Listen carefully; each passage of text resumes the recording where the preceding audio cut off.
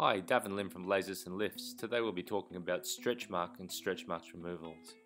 So what causes stretch marks? Basically it's when um, the skin undergoes rapid changes in weight gain or weight loss resulting in tearing of both the epidermis and also the dermal layers or mid layers of the skin.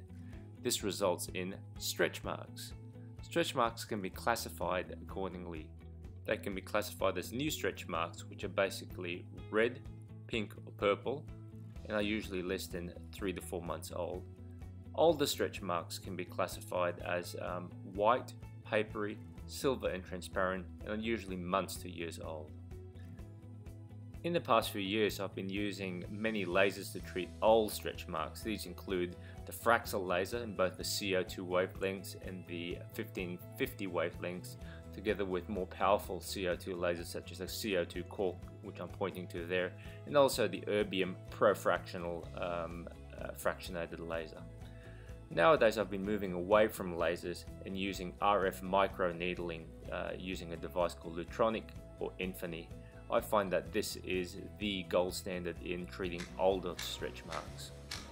Unlike lasers, this new device called radiofrequency microneedling spares the upper part of the skin and delivers the energy where we want it, which is basically the mid-dermis and upper dermis, or in other words, the middle layer of the skin.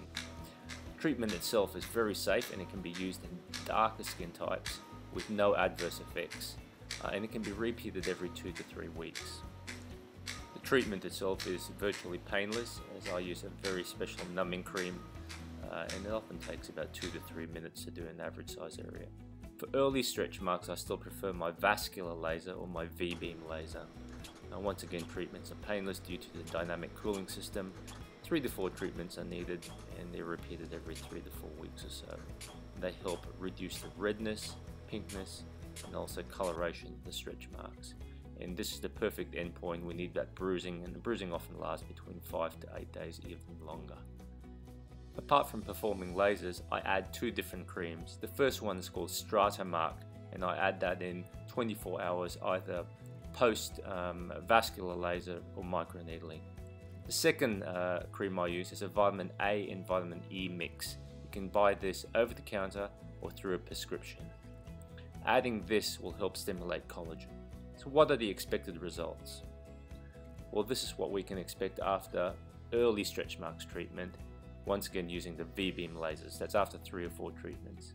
Old stretch marks treatment using the um, Infini system, and old stretch marks treatment using the Infini system as well.